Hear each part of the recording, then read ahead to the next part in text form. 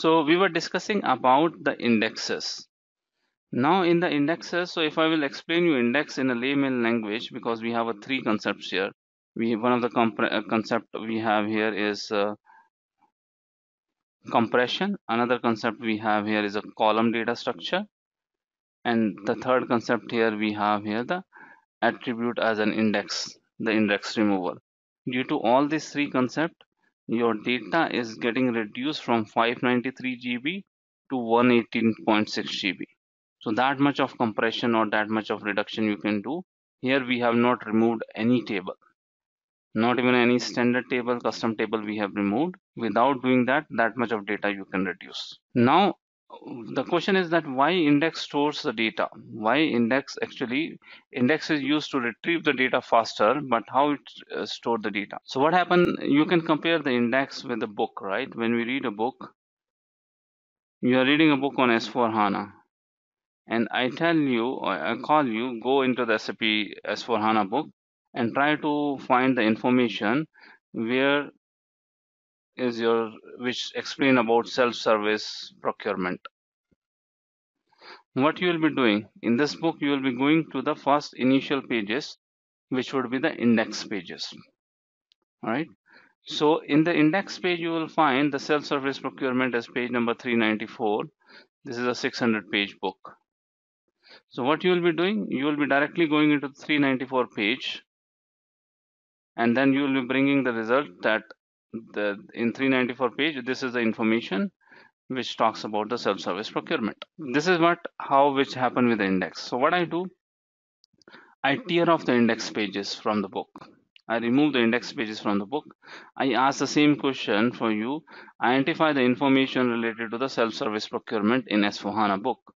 600 page you will go page by page. You need to go page by page. You need to go line by line to identify where the self-service procurement information is there.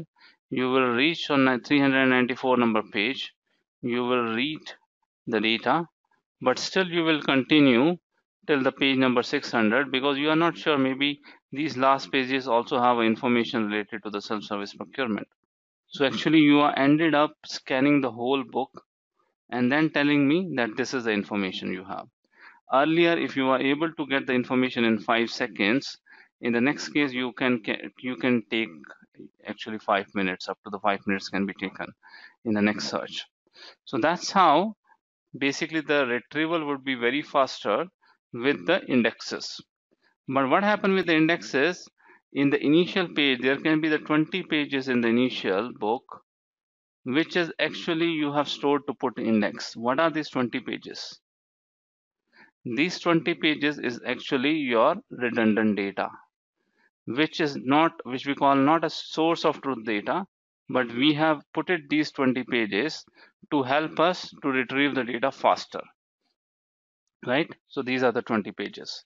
So you can assume that these 20 pages is having certain informations only certain objects are there. And you would be having a thousand of these kind of objects in your books right? If you want to put an index for each and every object each and every word let's say you want to put an index how big the index you need to put. So if you want to put index more and more index you can be ended up just putting a 100 page index. If you will add your objects in the index.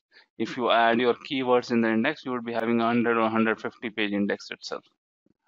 So that's how this 20 or 100 page the multiple indexes which we create is the additional data in your database. It will be additional data.